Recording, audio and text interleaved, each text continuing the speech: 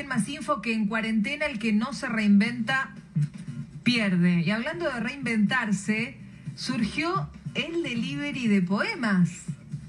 Así es, una actriz, una locutora, María Marta Guitar, eh, decidió armar este emprendimiento por redes sociales que tiene que ver con eh, me parece una de las cosas más importantes también que hay que mantener en la cuarentena, que es conservar los lazos, que brindar cariño, que dar eh, de algún modo regalos a la distancia. Hay modo de hacerlo, vos podés este, enviar por ejemplo, chocolates con, uno de los servicios de mensajería, o podés mandar un libro, o podés mandar comida, en fin, un montón de demostraciones de, de afecto.